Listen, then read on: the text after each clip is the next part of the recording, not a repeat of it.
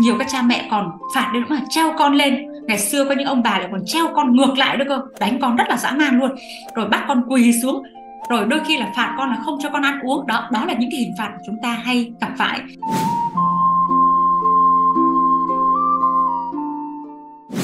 Thế thì trừng phạt con á, trừng phạt thân thể của con là những cái hành vi mà gây đau đớn hoặc là những cái thương tích trên cơ thể của các con.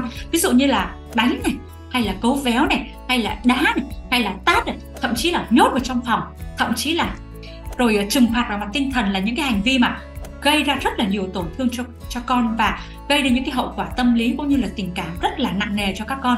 Và đôi khi những cái sự trừng phạt vào mặt tinh thần nữa sau này sẽ làm cho con của chúng ta trở nên nhút nhát tự ti mặc cảm và thậm chí các con rất là hận cha mẹ. Hay là những cái cách mà phạt con sai lầm á, ở phía bên trên mẹ vừa mới nói thì sẽ gây ra những cái hậu quả xấu về mặt tâm lý. Ví dụ như là à, trẻ sẽ không hiểu là vì sao cha mẹ là nói thì yêu quý mình như thế, nhưng mà tại sao lại đánh mắng mình?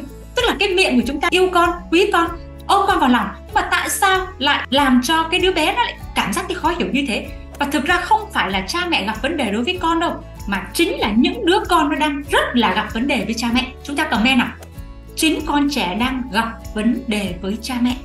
Và đôi khi thì các con lại còn rất là tức giận và tìm cách trả thù lên nha các cha mẹ nha đó là một trong những cái mà chúng ta đã làm cho con bị tổn thương. Và đôi khi thì các con sẽ à, tìm mọi cách để lừa dối, để đối phó, để lần sau không bị phạt nữa. Và thậm chí là các con bị trơ lì và không biết sợ là gì. Con gái của mẹ ngày hôm qua mới bị phạt xong. Mới bị phạt xong. Ăn cơm, không có, cứ ngồi xong nhay à khi mà ăn cơm với em xá xị là bắt đầu cứ ngồi để xong bắt đầu nhay là nhay tới nhay lui và ăn không đúng giờ và ăn không nhanh thế là tí nữa mẹ hệ mẹ hệ cho là ví dụ như đến 12 giờ là phải xong. Mà nếu mà đến 12 giờ không xong, trễ 5 phút thì tí mẹ hệ sẽ phạt cho bù lại 5 phút đứng ở ngoài đó. Đấy, thế thì ở cái cách phạt đầu tiên sao cho khoa học là chúng ta hãy phạt con đứng này, hay là phạt con ngồi này, trong một cái khoảng thời gian cố định nào đó. Nha nhưng mà đừng có phạt một cách mà cho con đứng hàng giờ đồng hồ thì không được các cha mẹ. Việc mà đứng này hay là ngồi một mình sẽ giúp cho con của chúng ta bình tâm hơn và bắt đầu sẽ suy nghĩ về những cái sai lầm của các con. Và đồng thời thì khi mà các con ý thức được rằng là uh, mình đang bị phạt đấy lần sau con sẽ ý thức được hơn về cái điều này. Thế thì cách phạt trẻ này không gây tổn thương cho các con mà lại uh, đánh trúng vào tâm lý của các con và sẽ hữu ích rất là nhiều cho cái việc chúng ta quát hay là chúng ta đánh con.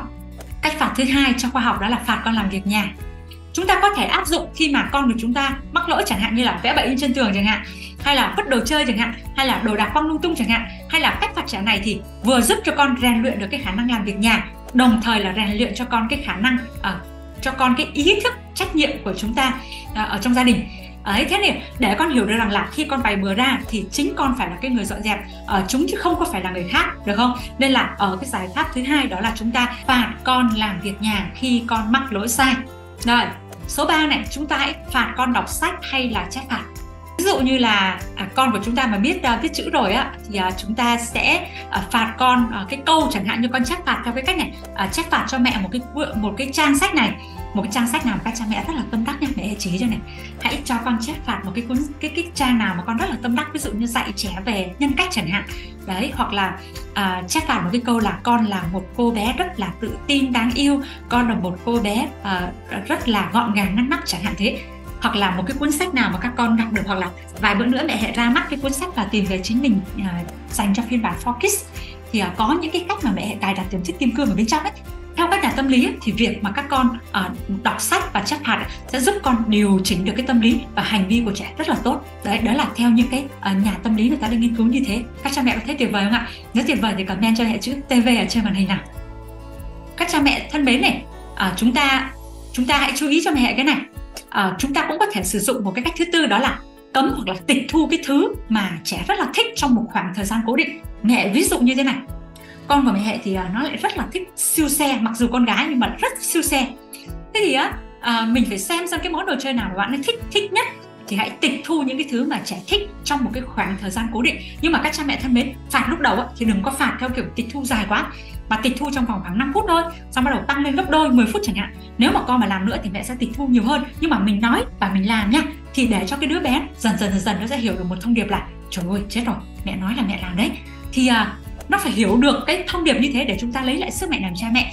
Như vậy là mẹ hệ vừa mới chia sẻ cho chúng ta bốn cái cách để mà chúng ta phạt con sao cho khoa học. Thế nên là ba mẹ nên áp dụng những cái hình thức phạt này để mà uh, con hiểu rằng là khi con không hoàn thành một nhiệm vụ và cái trách nhiệm của mình á thì con cũng không được phép làm những điều mà mình thích nữa. Hãy phạt con cho đến khi nào mà cái ý thức hoàn thành công việc của mình nó được tốt nhưng mà uh, phạt trong một cách rất là khoa học.